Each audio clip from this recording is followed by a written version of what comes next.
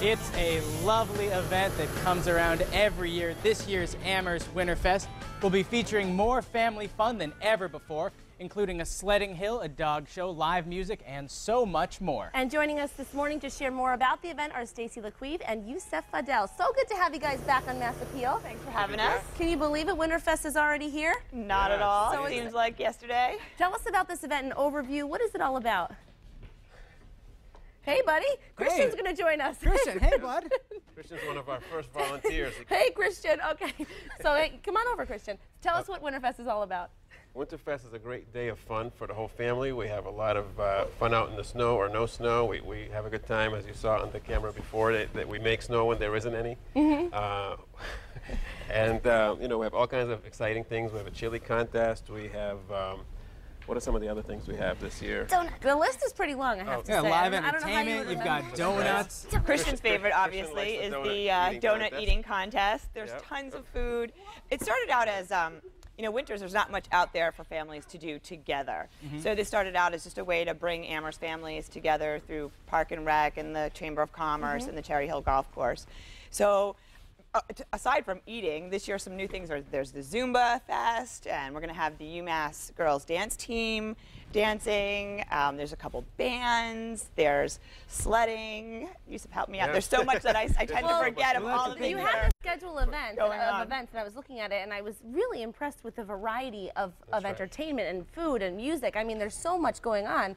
So you actually really have to just visit you on Facebook That's to right. see the list of things because you can't you We can't can, tell ne- we can never remember the whole thing. But one thing's for sure, there's something for everyone, every age group. There's entertainment for everybody Oh, that yeah. goes to Winterfest. There really right. is. And this year, one of the new things is we're going to have a dog show, which is Right. uh, for all you dog lovers. I'm a dog animal lover. yeah, we are too here Oh, in yeah. This, this Yeah. year, we're going to have a dog contest for best dog ears, best dog welt, uh, dog wagging, tail wagging. A Yep. tail a tail wagging contest? See, this is the kind of dog show I want to go to. It's That's not like the best in show thing. Correct. yeah, this I is love the it. goofiest dog show ever. Yeah. Exactly. I My dog it. could win some of these prizes for that. you got it. So Mine let's too. go over the details. If people are interested, how can they get there?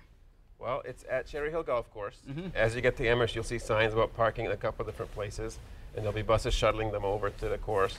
Um, And it's on Saturday, February 9th, so next Yes, weekend. Next, Next weekend. weekend. And it Not to runs up until with Super you know, Bowl. it ends with a with a fireworks display at the end of the night, so, which is really cool.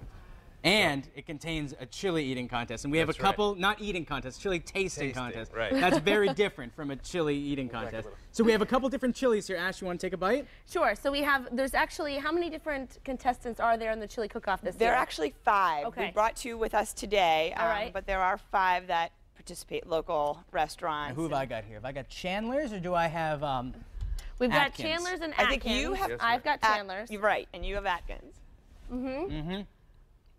All right, all right. You Oh. want do a switcheroo? Um, sure. We- we're This- I would here. say We can A plus.